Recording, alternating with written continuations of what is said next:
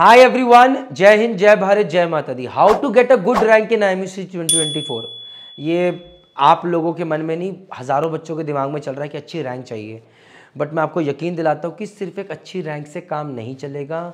अगर आप डीएनएस करना चाहते हैं तो आपको अपने कम्युनिकेशन स्किल्स पे काम करना है सो so दैट आपको स्पॉन्सरशिप भी मिले। अगर आप बीएससी नॉटिकल साइंस करना चाहते हैं और से तुलानी जाना चाहते हैं तो उनका अलग से टीएमआई सेट का एग्ज़ाम होता है और साथ में एक इंटरव्यू भी होता है। तो ये सब चैलेंजेस हैं, जो कि आपको पता होने चाहिए।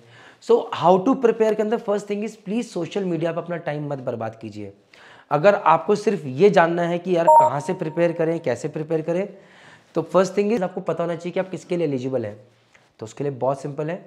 मर्चेंट नेवी डिकोडेड की वेबसाइट पर जाइए कैलकुलेटर पर क्लिक कीजिए एलिजिबिलिटी कैलकुलेटर पर जाइए I M C T and D N S के बॉक्स पर जाइए और वहाँ पर जाके अपनी डिटेल्स डालिए। ऑटोमेटिकली कैलकुलेट होकर आ जाएगा आप किस किस कॉलेज किस किस कंपनी के एलिजिबल है। पहली चीज़ वो।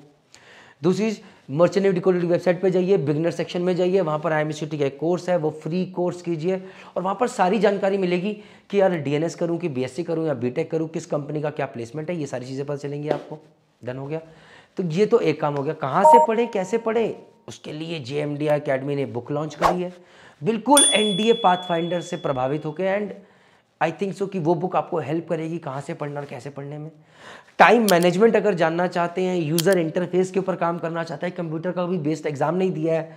आइडिया नहीं है कंप्यूटर पर एग्ज़ाम कैसे देंगे, क्योंकि आई तो कंप्यूटर पर होता है।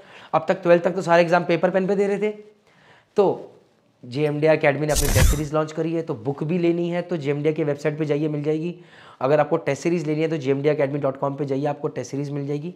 बस, वहाँ पर जाके आपका टाइम मैनेजमेंट किस तरह के क्वेश्चन आते हैं so that you can prepare yourself well एक गुड रैंक लाने के लिए सोशल मीडिया को छोड़ना बहुत ज़रूरी है और फोकस पढ़ाई करनी बहुत ज़रूरी है। और इसीलिए ये अप्रोच था कि आप भटके नहीं। कहाँ से पढ़े? क्यों पढ़े, कितना पढ़े, कोई कुछ बोलेगा, कोई कुछ बोलेगा। और इतनी सारी इंफॉर्मेशन आ जाएगी आपके पास। कि आपको समझ नहीं आएगा, करूँ क्या करूँ क्या करूँ क्या? जैसे मैं सुबह उठता हूँ लैपटॉप खोलता हूँ इतने सारे व्हाट्सअप मैसेज होते हैं कि मैं उसी को देख के एंगजाइटी आ रही है। भगवान क्या क्या रिप्लाई करूँगा और एक घंटा जय माता दी। तो सोचो, इतनी सारी इन्फॉर्मेशन जब आपके पास आएगी कुछ बोलेगा कुछ बोलेगा तो कहाँ जाए? सो मोस्ट प्रॉबली हमने पूरी कोशिश करी है ट्रस्ट वर्दी वेबसाइट बनाने की कोशिश करी है।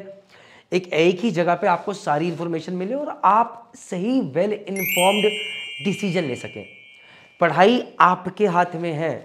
अगर मेहनत नहीं करेंगे तो दुनिया की बेस्ट किताब भी कुछ नहीं करेगी। सोशल मीडिया से दूर रहिए बार बार कह रहा हूँ। फोकस पढ़ाई कीजिए, टेंशन मत लीजिए। अगर पेपर बहुत आसान है तो खुश मत होइएगा, सबके लिए आसान है।